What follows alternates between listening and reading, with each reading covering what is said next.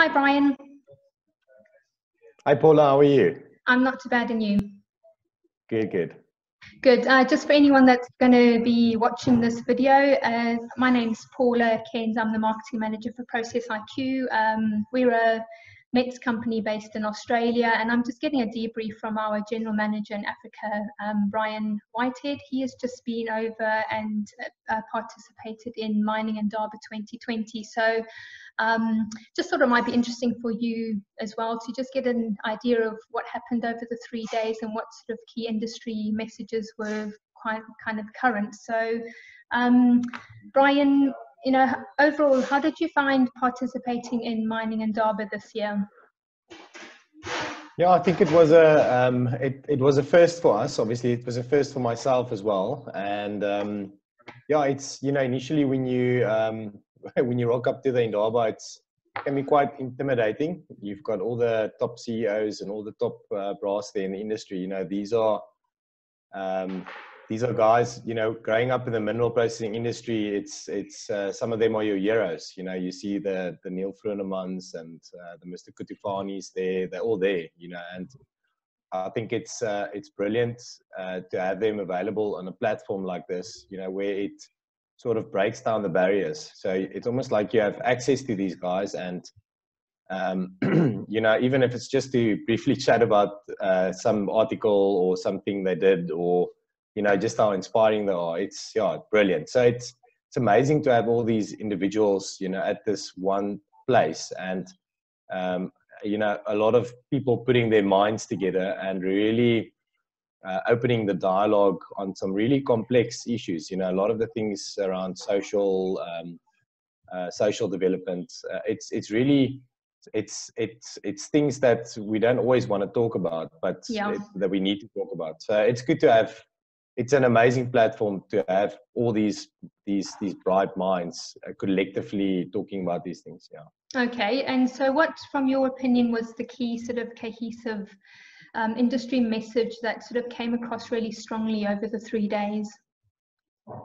Yeah interestingly enough you know uh, mining has always been focused on producing producing and optimizing and efficiencies and and the one thing that I that kept coming up in all the talks here is uh, social development, you know, and social inclusion. And I think companies, if, especially uh, in Africa, you know, there's there's a lot of turmoil. Um, there's a lot of unhappiness around mining communities that feel that they're not included and that they're not being empowered by the operations that take place there. So I think the one thing that that was you know that surprised me a bit, and what, what also um, I was very happy about seeing is is is what are mining uh, companies doing to try and include these communities around the mines, and what are they doing to to actually um, improve the social well-being. And you know mining is no longer about making quick profits in the short run and you know, in and out. It's about yeah. going in there, going the long run, investing in that area, investing in that country, and um, you're really empowering people. Okay. And then the last thing also that that that came up quite a lot, you know, is uh, mineral prices are actually going well. We all know what the markets look like. Uh, gold is on a bull run, but a lot of the other base metal prices, uh, it's quite uh, low and subdued at the moment. So there's an increasing need to run at higher um, uh, um, efficiencies, you know, utilizing the same equipment. And the, the only way to do this is to leverage technology. And, you know, so mines really need to start embracing the digital revolution. And if a mine does not have a, a strategy in place to, to, to be digitally ready, uh, you know, they, they're going to get left behind. So it's, yeah. um, those are the two big focuses social and uh, technology. Okay great thank you. And what about um, you know obviously you've said about it about you know the extreme pressures you know for improved operational performance and productivity etc but you know how is the the METS industry you know how are we addressing this and helping with this in the long run? Yeah so um, as i highlighted you know um, going down well, there's a lot of pressure on commodity prices currently. And, you know, the pressure is set to continue into 2020. Um, it will eventually ease off with some other industries taking off. But you know, in the short term, the outlooks are not are not uh, that uh, great. And so there's an increasing focus on brownfields operations, you know, um, yeah. projects that are less capital intensive. So it's it's the, the, the key focus for METS companies is on optimizing. You know, we we no longer um, there's, there's very little big capital intensive projects. So we need to focus on increasing the efficiency and improving the optimization. Um, well, optimizing circuits, increasing the efficiency, and we need to be more integrative and more collaborative. You know, it's um, we live in an era of uh, if you look at the internet, open source. You know, it's people work together, and um, we we just don't have uh, the time to to go and reinvent the wheel. You know, we need to collaborate, and uh, in that collaborative spirit, um, it's it's it's it's going to cultivate a sharing environment. Yeah. You know, people are going to share more information, share more resources, um, it's the only way. Okay. Um, Mining Indaba had a great lineup of uh, guest speakers this year, but um, which topic did you sort of find the most interesting? Uh, sorry, interesting, and what, um, more importantly, what did you take away from it?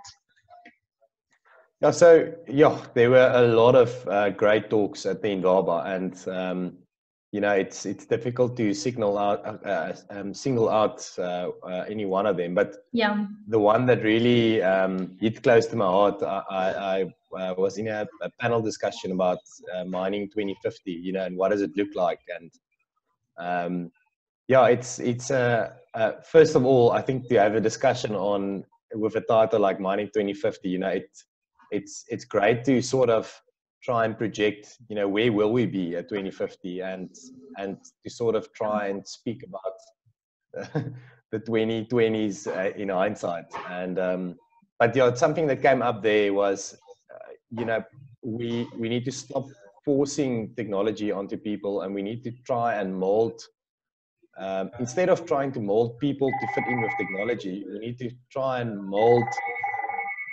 Um, oh, sorry, there's a. That's good. okay. Work as usual. Carry on. yeah. So, so instead of trying to mold technology, uh, mold people to fit in with technology, we need to, to have an approach where we, um, it, it goes both ways, but we need to have technology fit in with people. You know, we, we, we in the current era and in the medium uh, term, the next five to 10 years, technology in some instances, it's not going to replace people. You know, we, we can yeah. automate to an extent, but we still need some human intervention on some scale. So the future that we're looking at is more uh, augmented future, you know, where technology and people are integrated, working together, you know, um, and to achieve a common goal. And, you know, that was where I actually heard the, the, the phrase um, uh, humanity 4.0, you know, and it's, it's a new trending term you know there's a lot of focus on industry 4.0 and yeah. technology more and higher and better and more efficient but ultimately if if we don't focus on the humanity 4.0 uh, um, um, aspect as yeah. well yeah aspect you know it's it's uh, it's not going to work the only the key to developing sustainable solutions that can truly add value to operations in the long term you know is is being able to to diffuse information to a granular level. What I mean by granular level is to the lowest point on that on that plant, and uh, an operator must understand what's going on there. He must understand, and he must be able to work with that technology. You know, and if if they can't do it, um, you know, it's it's it's gonna greatly influence uh, how sustainable that solution is. You, you know, and um, if I can use an example of yeah. um, you know, our approach typically is it, we place a lot of focus on change of management, and I think that's where we actually can. That's why we why, why we are able to to develop such uh, effective solutions. You know, if if I look at one of the recent projects we did, um, it's it's super interesting because initially after the installation, you know, uh, with technology and systems and integrating everything in the IoT, um, we had a very good uh, effect on the plant and. Um, you know, uh, increasing throughput, increasing efficiency. But if you look a year down the line where we had minimal input and it was mostly driven by the guys on site, you know, the optimization continued to improve. and and uh, that's such a positive result. You know, that's that's what we need to do. We need to um, have a collaborative and integrative environment that that includes the humanity humanity aspect into that as well.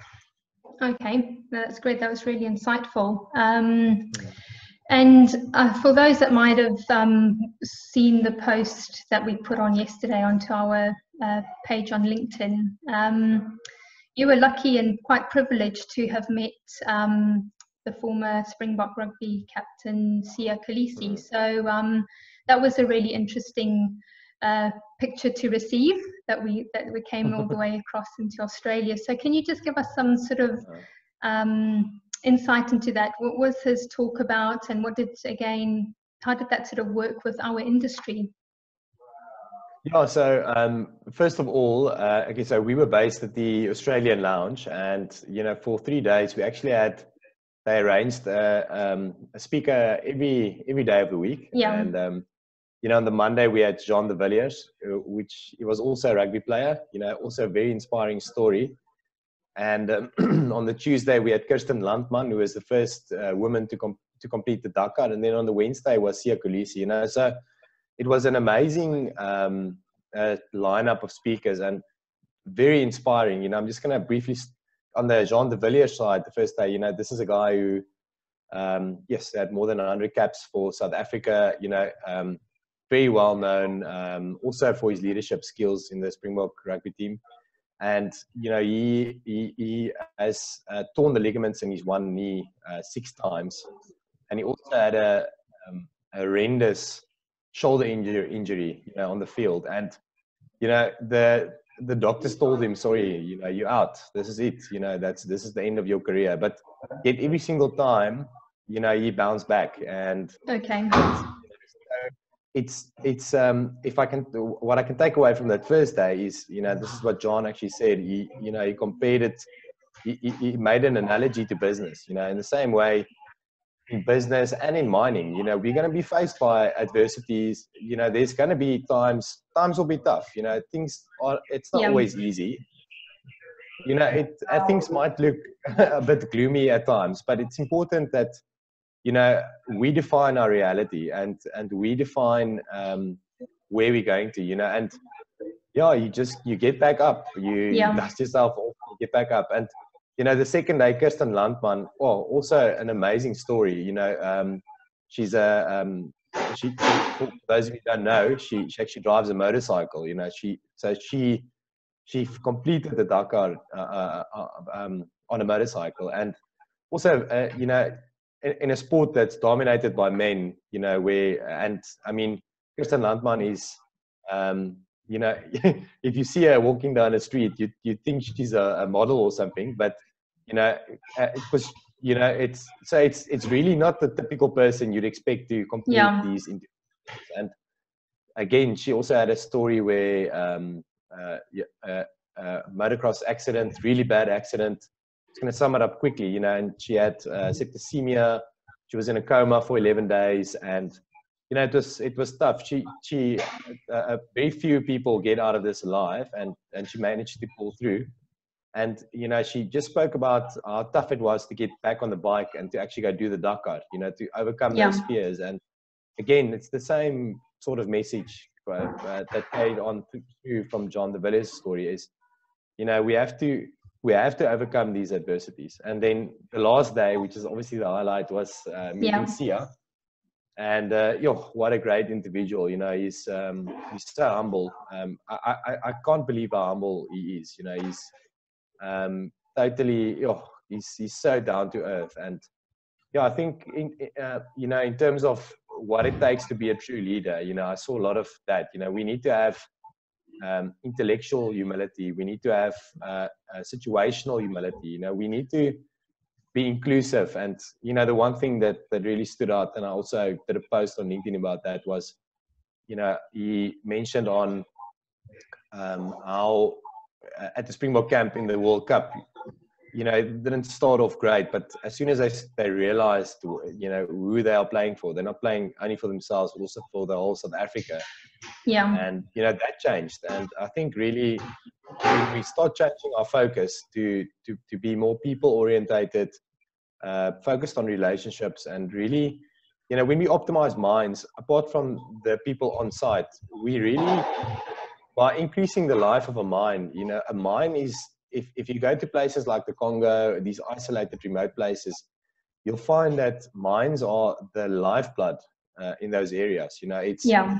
It's the main source of income for a lot of the families, um, and there's so many people dependent on a mine. So optimizing a mine, it, it, it goes so deep. You know, it, it can really impact on people's lives and uh, you know touching on the humanity 4.0 thing and again with one of the uh, uh, messages on the at the mining Indaba was you know social inclusion and social social development and you know we we have a lot of work that that that we can that we need to do in order to improve the lives of people around mines you know and um, but we need to do it in a sustainable way you know. We obviously mines can become more efficient uh, it can generate more wealth which can then be spread or um, distributed more efficiently between the between the, the, the, the people in that area Okay, that's really good. Thanks for that.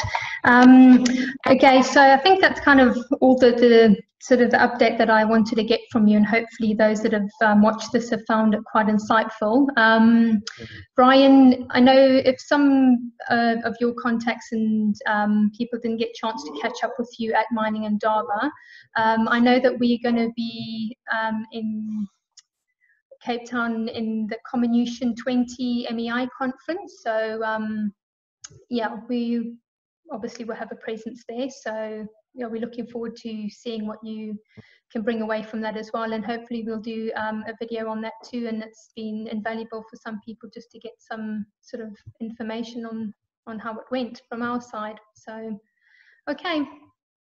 Yeah, so if I can just, you know, closing off, I I, yep. I just want to um, uh, you know the mining Indaba is it's an incredibly interesting platform and but I think what it highlights is the need for these conversations. You know we need really need to to start um, discussing and having dialogue around these tough and um, not so easy to solve uh, problems. You know we need to start yeah. talking about it. We need to collaborate more. Um, you know and we we really we need to get to a point where um, we it's all about adding value. It's about adding value on processes, about adding value in people's lives. And, you know, if we need to critically evaluate what we are doing, if we are not adding value, you know, it's, um, we need to reevaluate that uh, yeah. seriously. So, but yeah, I, I, if, if anyone, yeah, um, will definitely be at the Comminution um, coming up uh, again. Um, yeah, end of April. yeah. End of April. And yeah, so it'd be great to catch up with with whoever missed us there at the Indaba. Okay, that's great. And I think just our last word is obviously just to thanks to all the um, people that made Mining Indaba happen because it's yeah, it's mm. platforms like this that are just really key for us and um, you know making making headway in our in our industry. So thanks, Brian, for your time. And you're obviously in awesome.